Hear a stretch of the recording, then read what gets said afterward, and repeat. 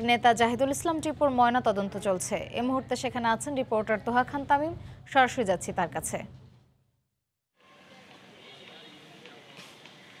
তামিম মতিঝিল থানা আওয়ামী লীগের নেতা জাহিদুল ইসলাম টিপু এবং কলেজ শিক্ষার্থী যে প্রীতির যে লাশ গতকাল, গতকালকে হত্যা করা হয়েছে। এই ডাবল মার্ডারের ঘটনায় দুজনের লাশ এখন ঢাকা মেডিকেল কলেজ হাসপাতালে যে মর্গ রয়েছে, সেই মর্গে রাখা হয়েছে। আমরা জানতে পেরেছি যে কিছুক্ষণ আগেই তাদের যে ময়না তদন্ত সেই ময়না তদন্ত সম্পন্ন হয়েছে ইতোমধ্যেই এবং আমরা চিকিৎসক যারা রয়েছেন, ফরেন্সিক যারা চিকিৎসক রয়েছেন এখানে মর্গে যারা রয়েছেন তাদের সাথে কথা বলার চেষ্টা করেছিলাম। তারা বলছেন যে ময়নাতদন্ত সম্পন্ন হয়েছে, কিন্তু যেহেতু বিষয়টি বেশ গুরুত্বপূর্ণ হত্যাকাণ্ড এবং এর জন্যই আসলে তারা এই মুহূর্তে তারা যে কোনো ধরনের কোনো মন্তব্য আসলে তারা করতে চান না।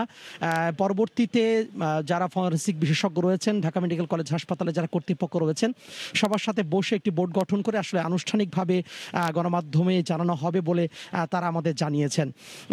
যদিও তারা বলছেন যে আমরা, আমাদের যে ময়না তদন্তের যে কাজ সে ময়না তদন্তের কাজ আমরা সম্পন্ন করেছি।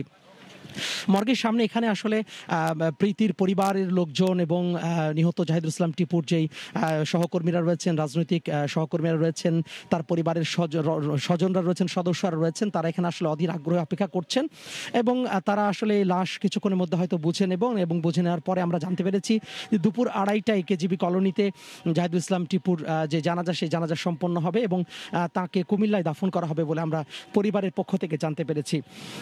একটি বিষয় জানিয়ে রাখি? গতকালকে যে ঘটনাটি গতকালকের ঘটনার গতকালকে ঘটনার সময়, অর্থাৎ যে মাইক্রোবাসে মোট চারজন মাইক্রোবাসে ছিলেন জাহিদুল ইসলাম টিপু, নিহত জাহিদুল ইসলাম টিপু, তার গাড়ি চালক এবং তার বন্ধু মিরাজুল ইসলাম মিজান এবং আরেকজন তার যে বড় ভাই, সেই বড় ভাই কালাম নামের একজন বড় ভাই ছিলেন।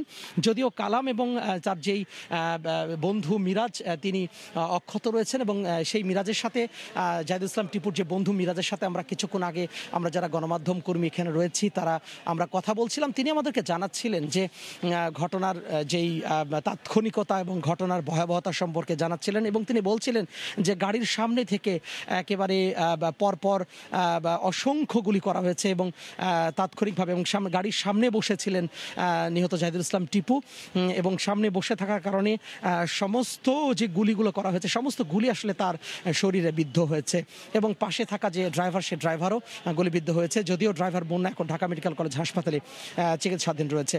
তো সব মিলিয়ে বলা যায় যে আর কিছুক্ষণের মধ্যেই হয়তো যে লাশ, সেই লাশ এখান থেকে নিয়ে যাওয়া হবে এবং তাদের যেই সবশেষ আনুষ্ঠানিকতা সেই আনুষ্ঠানিকতা সম্পন্ন হবে।